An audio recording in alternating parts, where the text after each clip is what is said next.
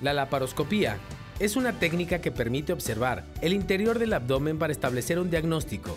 Un especialista nos habla sobre el método en los niños para la detección de padecimientos que infantes presentan y que de manera exitosa se realizan en el Hospital del Niño y el Adolescente Morelense.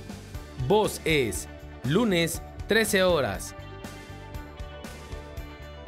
El canal de Morelos.